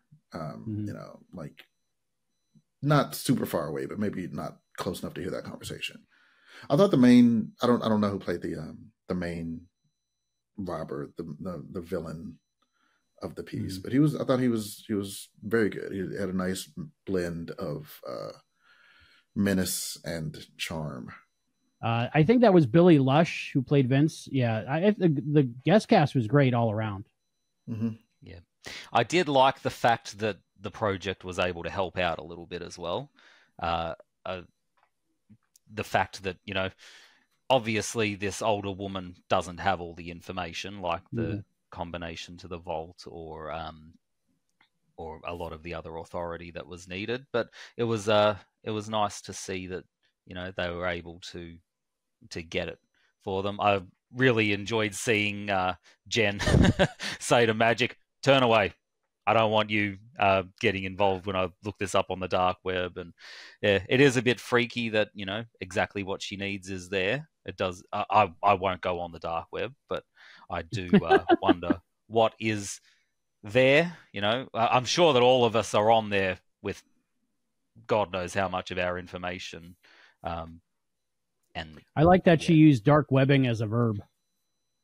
Yeah. Well, it makes sense. like, yes, Jen is doing more dark webbing. I love this. Uh, that brings up another thing. Magic said, "Well, I'm glad I'm not a government employee anymore." So let's talk about Magic about not being a government employee, and also about picking up an anniversary present for someone. Apparently, he's married a Who year you- now. oh, I have a theory about who he might have married. I think we all have a theory. Is, is it the same Yeah. theory? Let's go with John first. Who's your theory, John? No, John doesn't have a theory. John's Really? going to leave it to Okay. the no. I will, I will leave it to the you who are uh, far more. You'll leave it to steeped in the H2O lore. Nostradamus here. okay, Hayden. Uh, let's say at the same time who we think it is. Three, two, one. Beth. Beth. Yeah. Okay. Yeah. Beth. Yeah. I hope it's Yeah. Beth. That'd be great because we get to see her again, and I think that's okay because you know Al's dead, so literally. and dead, also she can they're um you know they were very close. They, they've probably Yeah. been a huge comfort to each other with al going because obviously you know al's beth's husband but also um, al and magic were quite close too from what we we could hear and um, i think everyone would approve. So yeah, Yeah, I would love I- to see I, I Susan see back, and I would love to see an episode where you know uh, Magic goes home and Beth's there and they're hanging out, you know, watching, you know, Housewives of who knows where. That'd be great. Reality shows. But Yeah. yeah, that was my first go-to thought. yeah mi- mine too What do you think about Jen uh, playing poker? I, I liked it. It well she was right and- she was right about the pocket kings Mhm. i love playing Okay. poker as well and uh, that i think that's the same move i would have done hmm What about this Yeah. like little bit of a mystery they introduced with uh, Jen talking to Ian about what uh, they did to um, find Ben in the first place? Because uh, they said uh, some of the truth, but not the whole truth. So mostly a lies, from what I'm understanding. So you think this has to do with um, Ian going leaping and going into other people, like in uh, the first episode where they leaped into Oh. Shakina, uh, maybe. Um, I don't know. Like, where what do you where do you think that's going? What what were your Maybe. head canon while you were watching it? I wasn't. I wasn't head canoning, canoning at all. I. I. Dark webbing. Yeah, I wasn't dark webbing. I was. I was starting to. uh my sphincter began to tighten. I'm, I'm, I'm, I'm really, really hoping that it's not like a whole, like another season long mystery box that where we slowly get a thread. You know, every episode. I'm like, please don't do that. Please don't do that. Like, mm. I'm, I'm, I, I would love it if whatever Ian did is revealed, you know, within the next episode or two. And then they can and then they can move on. And then the show can like progress from that point. That's that's what I hope. But I I really don't like you know, this team member finds out this thing and that team member finds out that thing and then episode 9 they compare notes and oh, I think was I'm like no, I don't want to I don't want to do that. So that's that's that would be a that would be a minus for me. All right. I've got a couple of competing theories. So Nostradamus time. First theory I have is Sam leapt to help Ian discover um, to help Ian discover where Ben is, and uh, together they came up with some sort of a way to do it.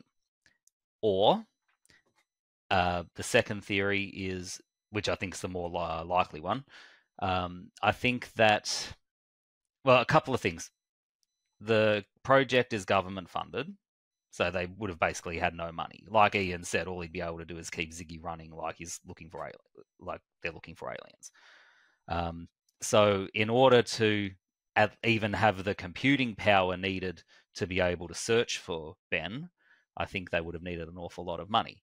So I think that um, Ian's gone and tried to get in touch with some not so nice people, perhaps some competing um, agencies uh, to try and privately fund enough in order to at least be able to get the search happening again. So I'll be interested to see if uh, they come back wanting some sort of a return on their investment or wanting, um, you know, some other tasks to be done as, as a return for that favor. Um, could this be the start of the evil leaping project? You know, if um, the government uh, doesn't keep funding the project, they have to get their funding from somewhere else. And you know, it's the thing: if things are privatized, all the they care about are their shareholders, so they're going to want some sort of a return for their investment. So yeah, I think uh, I think that there's a bit going to be a bit more bureaucracy and probably a whole lot of Ill- illegality going on based on how um, Ian got the project running again, at least at the beginning. I was wondering, um, like in in the in the quote unquote real world, like in that three years. So, like, imagine you're like you're funding this quantum leap project. The first time Sam goes and he's lost, like immediately. The next time Ben goes, he's lost immediately and they look for him for two years. And so like like this is a boondoggle. this is not a successful it's not a successful project. It doesn't work. Yeah. And I doubt Diane McBride's still there to fight for them either. Right. and so okay, so so they lose Ben. So do do they try do they try to send someone else? Like okay, we accept that like, you know, let's just say Ben is gone. We we we accept that he, you know, died in the line of duty. So that does that nobody else leaps? I mean, surely, I mean, not to be cold about it, but you know, if you're testing a new rocket or you're testing a new ship or you're testing any kind of new technology, you never want casualties, but it's not unexpected. Like that doesn't mean you like unless it you know unless there's a major catastrophe that blows up a city block or something. Well, there is another thing going on there, and that's the ethical issues. Um, I can give you a mm-hmm. good example of, of, something real world to demonstrate what I'm talking about. Um, when whenever any sort of research has to be done with or on human beings, there has to be quite a big ethical um, uh, ethics process that you go through to get the approval um, to make sure you're not going to cause harm or at least reduce all the risks. Um, if it's if there is very very high risk, then the only way that you can actually get any kind of approval is to do it to yourself because ultimately mm-hmm. you're putting yourself at risk. That's why I actually think Sam made the initial leap um, to start with because You know, it's too dangerous for anyone else to be used as a guinea pig. So if he's willing to do it himself, fine, but no one else um, would be able to.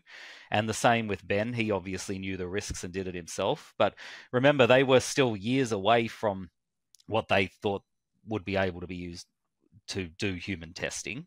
Um, we remember that from like the very first couple of episodes of the new series. So mm-hmm. um, I actually think that they wouldn't be allowed to send anyone else because they've shown it's too dangerous already. They've already lost two people essentially, and uh, yeah. They... So then, even if it's successful, they still think it's probably too dangerous. So does I... that mean that the the project with Martinez never happens, or is it happening concurrently? Well, I, th- I think they would have to get it to the stage where they can assure um, minimal risk. I think is what goes on. Like a real world example. Oh, sorry, I did allude to a real world example. It's um, uh, to do with um, ulcers, and um, it was thought that they were caused by stress, but it's actually mm-hmm. from a particular bacteria. And the way that they were able to prove this was um, the person who had the theory actually in actually uh, infected themselves with the bacteria and caused the ulcers, and then found that they were able to be treated with antibiotics. But they huh. would never be able to do that kind of research unless they did it to themselves, if you get what mm-hmm. I mean. Mm-hmm. So, um, so you, have got a point. Obviously, somewhere down the track, they do send leapers back, but it would, I think, it would be far enough down the track that they've done the necessary risk minimization. And again, Martinez knew that he was never getting home as well. So it must be another case too of him knowing the risks and doing it to himself too. So, or at least that's a good possibility. Yeah. That is a very good observation, John, because uh, I was thinking while I was watching this and that they closed the government, the Pentagon closed down the Leaping Project. And I'm thinking the government wouldn't give up on the possibility of time travel because that is the ultimate weapon. So right. maybe they just what you yeah. just said triggered in my mind. Maybe they just shut out shut down that quantum leap project because if they shut it down completely and mothballed everything, shuttered everything, then Martinez wouldn't have happened, and then it would undo everything that happened. So they must be continuing it in a separate project, which means maybe there's multiple quantum leap projects out there. And maybe that's who Ian's gotten in touch with. Hmm. Well, uh, uh, uh, back to the Ian thing. That I I like I like the mini mystery. As, you know, people problem with the mystery box. The people that have problem with it is when like the episodes rely on not knowing what the mystery is, kind of like Lost. You know, the rewatchability is not there. Uh, but like with this, it's like a mini mystery where like the first time you're viewing the episodes, the first run through the season, it's a cute little mystery. It gives us an opportunity to theorize, guess, make predictions. Uh, if everything was resolved in, in, at the end of every episode, we wouldn't have that. So I like that little bit of fun, but it's also minor enough to where the episode still has rewatchability because uh, the whole the whole episode doesn't hinge on it. If that makes sense. Yeah, I, I don't. I'm fine with it as a mini mystery. What what I think would annoy me is if there's like a little tease in every show because it is a mini mystery. Like it doesn't deserve to be stretched out over eight episodes. That I think that's that's what I'm saying. Like it's you know I think I think when I watched I, I watched the episode twice, and I think the first time I was wondering is it is this how we get Ziggy? Mm. Like like you know OG Ziggy. um like is is is that like did Ian upgrade to a more personality based AI that that you know it's more similar to the to the one from the mm. old series as opposed to just being a very smart computer which was what it seems to be in this series. Yeah. That that would, uh, that, that'd be worth the wait. Yeah. I don't really have a problem with the mystery element of it, and I didn't even have a problem with the mystery element in the first season, to be honest, because I, I, think that's how TV's basically structured these days. Mm-hmm. It, this isn't really the same structure that the original Quantum Leap series was, and I think we have to accept mm-hmm. that it's never going to be the same. The first episode of this season is probably the closest we're ever going to get to it, and uh, and I've found that personally, my own um, preferences have changed, and uh, you know, people's tastes change over time, and I, I like it better as the ensemble now. Um, so yeah, I, I, think that's not going to be a problem. Uh, I was always a fan of the mystery. So everybody yeah. complaining about the mystery box, I didn't get it because you know I, I want a little bit of mystery. I want to not know everything that's going on. I, I want to guess. I want to be wrong. And on that off chance I'm right, then you get that satisfaction of wow, I figured out the mystery. You know, I'm Sherlock Holmes over here. I don't know. Yeah, I don't. I don't I enjoy that part. I didn't dislike the mystery in season one. Like, and, and I, I, referenced people being mad at it, but I guess I didn't mm-hmm. clarify that I wasn't. Yeah. I didn't really dislike it. Um, I think you were disliking more being drip fed it, and not being yeah. able to find clues and that sort of stuff. Yeah. Yeah. Um, I think mystery doesn't. A good mystery needs clues. And uh, I think part of the reason why I didn't enjoy, I did enjoy it last time, is because I was able to actually figure it out because I was looking hard enough for the clues. But I don't think that the average viewer was really looking for clues. So and I also wanted to be, well. and I, I presume that it will be, but I also want it to be like immediately relevant. Like if there if there's a like, I don't want it to just be um, you know, oh, here's a here's a t- in case you were wondering, here's how Ian got the thing going. But but like you said, like if it if it ties in because uh, like they made some dark deal somewhere, if they did, you know, clearly they did something they weren't supposed to do. But you know, if that you know ripples out to affect the characters, to affect Ben, to affect the project, you know, in a substantive way. Substantive, substantial, I don't know. Substantive is fun. in a big way. in a big heavy way, uh, then cool.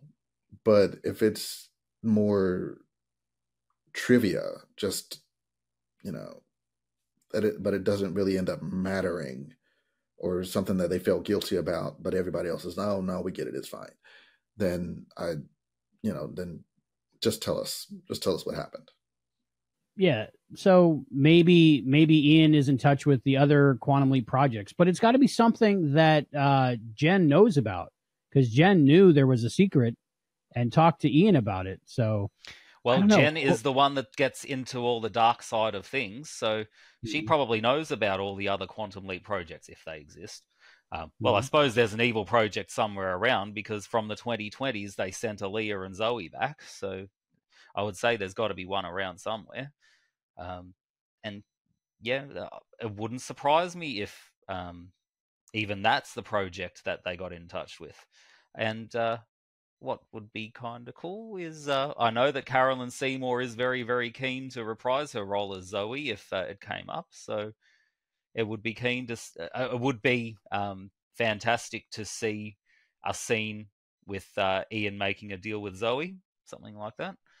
Yeah. Although I don't know why an evil character like Zoe would want to help them, but maybe they see a way to progress their project further, perhaps. I don't know. John, you mentioned earlier uh, you had a couple uh, bumps with this episode. Uh, could you expand on that? Yeah, it like I said, it wasn't it wasn't the writing or the acting, um, but just visually to me, um, there there were some choices that I just didn't that didn't work for me. Um, and actually I'd forgotten that they did this in the first season too until I saw it in this episode. But the the very extreme close ups on the like extreme facial close ups um, during scenes, uh, like just way too close. Like the the face is like eighty percent of the screen, and it's like two characters talking to each other. Um, it's I mean it's a minor thing, but it's just, it's it's just way too way too close for me, and I felt overall the episode was like the colors were kind of washed out. Like especially like during the leap. Like in the in the present you know the the hq present um it seemed like the the colors were were fine or at least brighter. But everything in the bank especially the the the the agent who was negotiating with them in the van his it was all green. It was like the, Mm-hmm. the whole leap back part seemed like they were like in the matrix it was all it was green and kind of washed out and it it just it didn't. I didn't. I didn't like it. I didn't like it, and I and I. Uh-huh. It seems like that's often the style of the show, so I might just have to suck it up. Mm-hmm, but mm-hmm. every episode is not like that, and it, and it, and it just it didn't, especially didn't work for me in this one. Director of photography for this episode was Anna M. A. Marti, which we talked to. And uh, when we talked to her, she had mentioned that the producers really like the extreme close ups. Uh, so uh, that's probably why we're getting these extreme close ups. And the, the, the difference in the coloring. So, do you have an interview uh, with her, Albie? it was on last season. So I apologize. um, and uh, like uh, for me, the yellow in the 1980s made a lot of sense because to me, I got a yellow feel from it. Like everything was kind of yellow. Mm. But if you remember the 1980s, all our light bulbs were yellow. Like right now, our light bulbs no, are white, I, I, but back then they were yellow. So to me, it gave me that 80s vibe. Yeah, and it wasn't. It wasn't horrible. It's not. It's not like it ruined the episode for me, but it did mm just kind of. It was a little off-putting, especially like I said, especially in the van with the green. Mm-hmm. The like, green. why was he in green? Like that. Like the van part was funny. Agent Reynolds basically he just everything he said was a lie the whole time, and every time he got caught in a lie, he was like, "Ooh." Ah. He is you know, a he wasn't good at his job. negotiator. Yeah, he, he was just gonna he was just gonna you know dive in, guns blazing, mm. and like in the original history, how many people ended up dead because of it? Like shooting at all the gas lines. Save people bank. as a hostage negotiator, not kill everyone. Hmm. Oh, well. Why do you have a gas? Um, why do you have a gas line ju- in a bank? Why do you have a gas line? Well, how, do you spo- how are you supposed what, to heat what, it in they cooking? without the gas? Natural gas? I don't know. I don't know. I central heat. What? Where was this?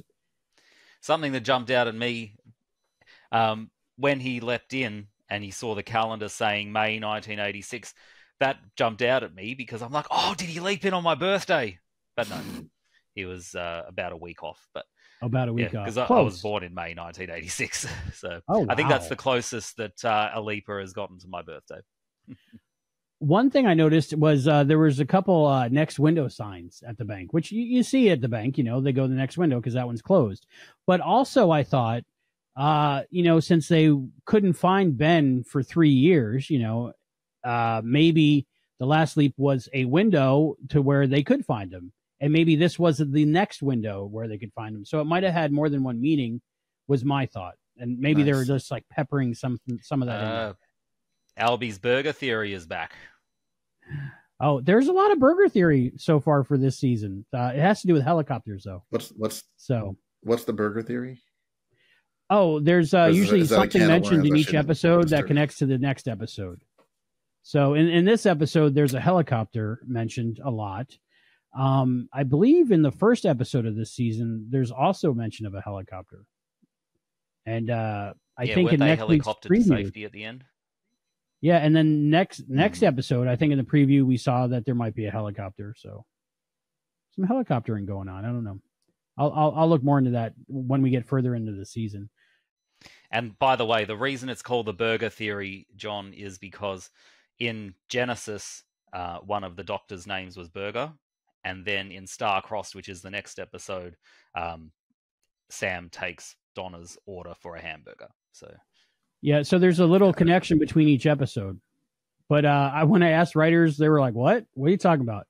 So it might have just been something that was like, you know, like in the zeitgeist of the writers' room at the time, and and it just happened to inspire things in the next episode. I don't know, but and I've never found a hockey puck either. No, it was supposed to be a hockey puck in every episode. I wonder if they got something in this in this series like that. I don't know. Well, uh, now I think we should go to a break. I want to I want to play this commercial. It's uh, for the Kickstarter. Have you heard Deborah Pratt has got a new graphic novel out? It's called Warrior One, and it's uh the Kickstarter just kickstarted. It's part of the Vision Quest universe, isn't it? Um, I don't know if it is or not. I I this is what happened. I found out about the Kickstarter. I think uh, five other people had backed it. Like I found out right away, and I just immediately went to. I think I got the signed Warrior hundred dollar uh, backing, so I'm going to get a hard copy of the book and um, signed by Deborah nice. Pratt. But that'll be cool. Uh, I, and then, like I do with my Kickstarters, if I really love a writer or an actor or something, I, will back it right away, and then I'll find out what I just backed, pretty much. Um, but uh, Yeah. Well, the email that David sent me, it says uh, Glasshouse Studios head honcho David Campiti is working with Quantum Leap co-creator, writer, producer, director Deborah Pratt. David scripted Warrior One, a graphic novel set in the world of the Vision Quest series of novels. Glasshouse superstars Will Conrad drew it, and Candice Hand colored it. The book is available in softcover, hardcover, and premium slip-cased oversized absolute edition, and uh, a link to the Kickstarter. So I think I'd better get on that before uh, I can't get on it anymore. yeah, there's also a Quantum Leap tie-in. If you if you're if you're rich enough, you can get an original Quantum Leap script uh, autographed by Deborah Pratt. That's that's that was uh, too rich for my blood. Wow. But uh, but but I did the hundred dollar package because you know I want the nice signed Deborah Pratt. Did it say book. which um, script? Yes, but I don't remember right now. Mm, trying to think. I don't know. so uh, why don't we go to that uh, uh, that uh, Kickstarter video and we'll be right back.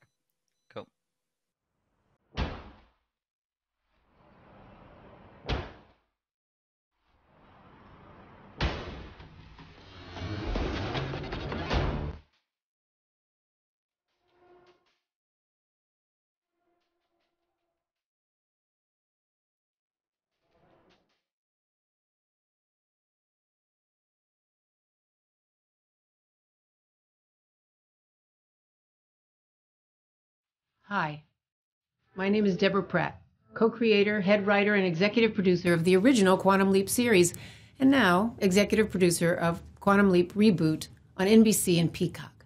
I'm here today to introduce you to my epic sci fi action adventure graphic novel, Warrior One. Set in the universe of the Vision Quest novel series, it's the story of a possible, not too distant future. A hundred years after the Great Quake changed the world as we know it, the people of Earth survived, unified, and built a great, almost utopian society. They put their genetics into animals, and those alternate species found that their newly awakened humanity allowed them to remember the powers that we forgot, and they began to teach them back to us. We also put our DNA into machines called the Black Guard, and when they became sentient, they looked at our history of greed and violence and decided we were not worthy to be the stewards of Earth. And they began to annihilate us tale of Warrior One is centered around a young woman named Jetta A. After witnessing her father's brutal murder and her mother and brother stolen by these once protectorate machines, she quickly understands the extinction of humanity has begun. Jetta must survive, find food and water and shelter, pick up a weapon and learn to kill or be killed. She must build an army, find her family, and win back her homeland. And she needs your help. And so do I. In order to bring this amazing story to life, we are asking you to be part of the adventure of Warrior One. We need to raise $44,000 to finish the graphic novel. This includes paying the artists, colorists, and everyone who is bringing their talent and skill to make Warrior One a reality.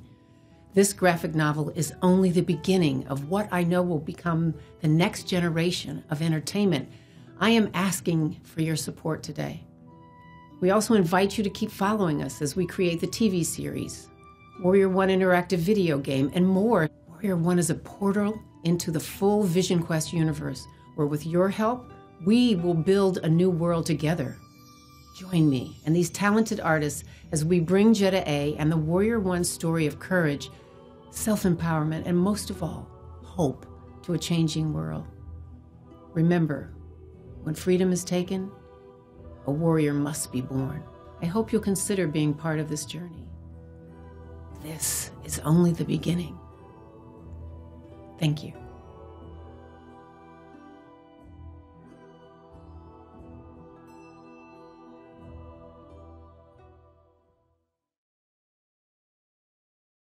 And we're back. Did you see what else Deborah put out this weekend? She um she did a thing about uh, she actually got Matt Dale's book in um, yeah. the new version of uh, Beyond the Mirror Image. And uh, you know, uh, here I don't know if you guys or Hayden, you got it yet, but um, yeah, I've got it. Uh, Deborah Pratt always carries around the original book. Where anytime she needs to know something, she goes to Matt Dale's book. And uh, you know, I always thought she was, you know, she's a nice person and being nice to Matt or whatever. But she took her time to like, like extol the amazing uh, things that the book has to offer that she got the new book and was so excited on her social media. So I thought that was really cool that Matt Dale got a, a personalized uh, name check on, on on her Instagram and all Yeah. that stuff. Well, her- Deborah wrote the foreword as well Mhm. in the book. Oh, she did. Yeah, it was really good. And look what I just got here. This came a couple days Mhm. ago. Volume two. Oh Oh, yeah, it's volume two. And uh Serenity's name's in there. My name's in here. Serenity's name's in there. I think my name's in there too. I don't know. All right, uh let's just uh wrap up and talk about our final thoughts of Ben and Teller. Is there anything else about this episode you'd like to talk about? Uh, you know what? There was I did appreciate, um, in the scene where Ian lets slip that Addison is back at the project, Mm. and uh, Ben is like, "Oh, is she there? Is she coming? Is she, is she coming in?" And he's and he's looking around, and he looks like dead in the camera, Mm-hmm. and she's looking on the monitors, like and they're like they they make eye contact, even though there's no way they can actually see each other. I I, I really like that. I really like that. So that so I don't I don't mean to like just just just uh you know diss on the all of the direction for this show like but that that I thought that scene was was great. Yeah, the one scene that I thought was kind of unnecessary, or the one thing to happen that I thought was unnecessary, was when um, Ian was giving Ben the combination to the vault, but got pulled out before saying the last digit. hmm Uh, that was only to add a little bit of drama. Really, they could they didn't need to do that. Uh, True. I mean, it, I suppose it was a way to, you know, show rather than tell that you know they're not supposed to be there and that they could get shut down at any minute if they get found out. But I don't know. I, I just found that unnecessary. But I enjoyed just about everything else. Um, there was very little that I could pick on, less than John, anyway. Um, Well, now that you mention it, yeah, I Uh, was I, I I didn't have I didn't have a problem with like them not getting or him not getting the the last digit of the code, uh, but they did do the thing where he's he's like openly whispering to people who aren't there, and the the the robber's like right on her shoulder. He's like, "Oh, Addison, uh, really use your you know just Yeah. like having he's right there. He's not he's like that's not like stage whisper. yeah. yeah, Having he's said almost that, though, I, I do think that Ben is getting better with the double talk, where he hmm says something with the intention that you know the per, the hologram there will interpret it and know what he needs. Um, so Yeah, I, I do That, think that was the, he's the only, that was the only part of this episode that yeah. So It's um, almost like yeah. Ben has an inner monologue that he's saying out loud. Would that be an outer monologue? I don't Mhm. know.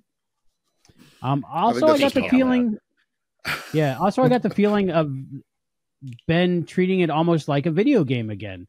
Uh, in the first episode, it seemed like he was treating it like in a video game to where everybody else was an NPC that wouldn't really comprehend or affect him no matter what he said. So he was just, you know, saying different things, you know, uh, my uncle MacGyver, I got to go feed the hogs, different things. And like when he fe- found the medical kit, I don't know if you remember, but there was like this tingle sound, like ring. And I was like, I think is he in a video game? Where, what is that about? I'm not sure if well, that that's made kind of final error. interesting. Maybe maybe Ben actually is dead, and it's like, or, or maybe not dead, but like in some sort of a coma or something, and uh, he might have been put into the source code because. Uh, you know, you remember the, the movie Source Code, and that's essentially what happened. It was virtually a Quantum Leap movie, but in Mhm. that case, the guy was essentially nearly dead in a coma, but they used Mm-hmm. what last little bit of life essence he had to be leapt back into the source code to try and figure out what went That's wrong. So, interesting. yeah, may- maybe maybe you're not far off. It could be some sort of a simulation or a video game. I'm I'm gonna I'm gonna yes and you. Uh, I like the, I like the video game thing, um, but Ben did kind of help write this system. He write helped write the software, so maybe he just wrote it in such a way that there are little video game touches, Oh. like just for his own amusement, so that because- it is you know effectively for someone watching, then the imaging chamber. It, Yeah. yeah, he put in well, not necessarily cheat codes, but just like No, Ian's the one that does the cheat codes, aren't they? right, right. Ian does the cheat. Ian, Ian, Ian did the cheat codes. um, but yeah, maybe maybe he did just kind of program it in that if he happens to find a medical kit, it makes it sound like that. If he happens to find a green mushroom in the woods, you know, Yeah. You'll get an extra Well, life. he gets extra health. Yeah, I think we're Uh, way off on this one, but it's a fun theory. Um, but uh, the season separated by uh, Ben maybe leaping back, and you know them going, "Oh no," you know, and it that's the end. It's a cliffhanger. So maybe everything we're seeing so far this season isn't real yet. We don't know. That's a good theory. I like it. Mm, We're making mysteries when there where there aren't any. I like it. Sure. We're becoming So- English teachers, putting far more thought into the text than the author did.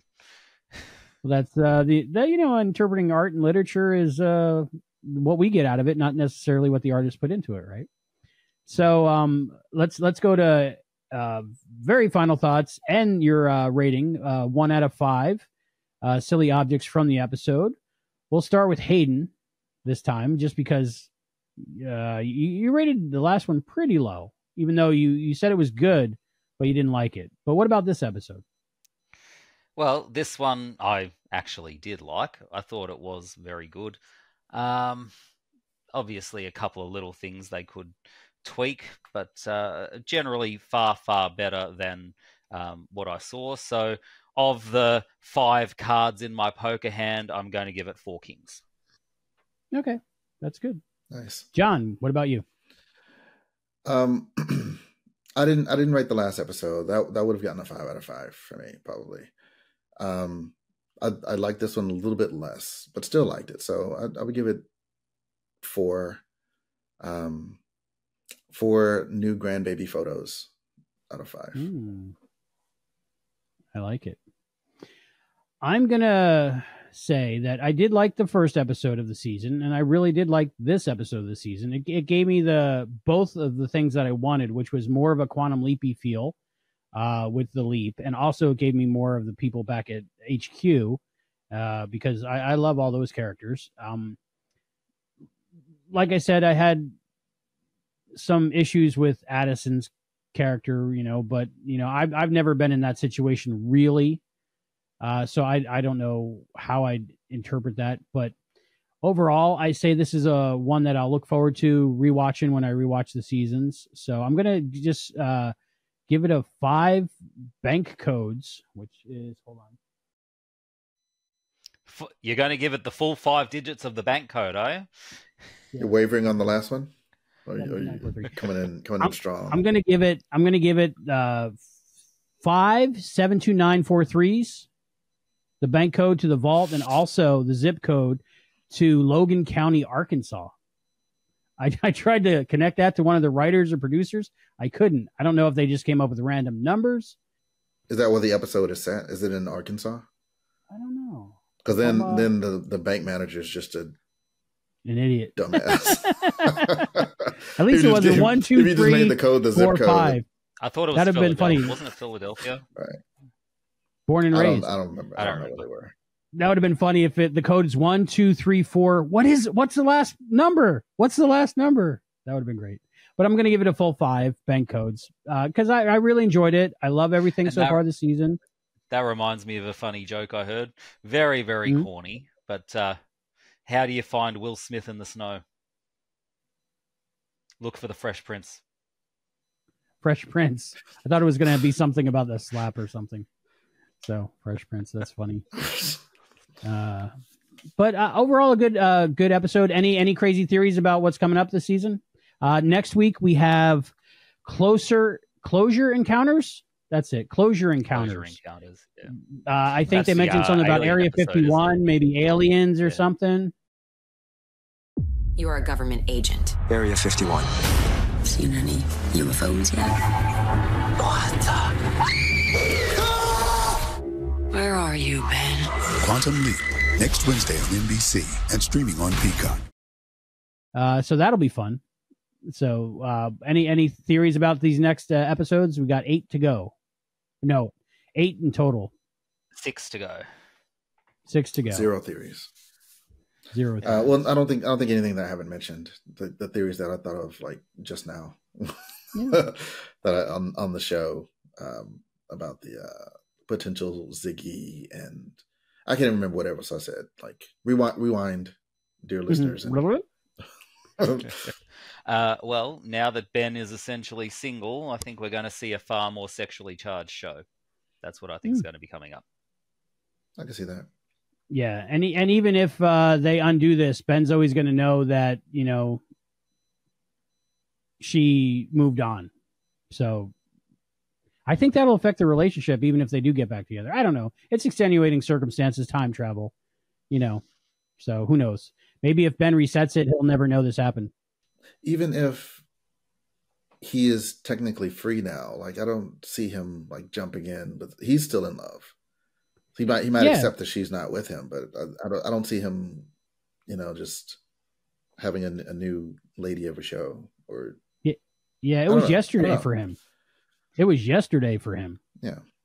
I feel so bad for. I'm not opposed to it. Like I, th- I think I would, you know, Well, I Sam was still very moral. Oh, it's wrong to sleep with someone you're not in love with. And for someone who bed hopped as much as he did, he seemed like a bit of a hypocrite. So I think we could still Mhm. see it.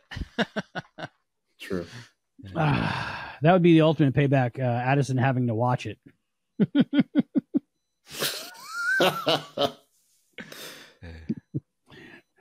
I don't know. and help It'll out. be I- interesting. I, I really Like, think need we to- need to really stop this now before we get an R rating and get I think so. YouTube. Good we call. already we already call. got shark bites in your boobs, and luckily me and John kept our shirts on this time. So, yeah. Yeah. um, but uh, check out next week's episode, and um, it's uh, closure encounters. I'm excited for it. From the preview, it kind of looks X Files to me, and I'm a big X File fan, so I'm an X File, and uh, I'm I'm very interested to see if aliens exist in this universe because uh, they might. You never know. For the Quantum Leap podcast, Quantum Leap After Show, I'm Albie. I'm John. And I'm Hayden, and I am moving on with Bruce. Okay, and we'll see you next time.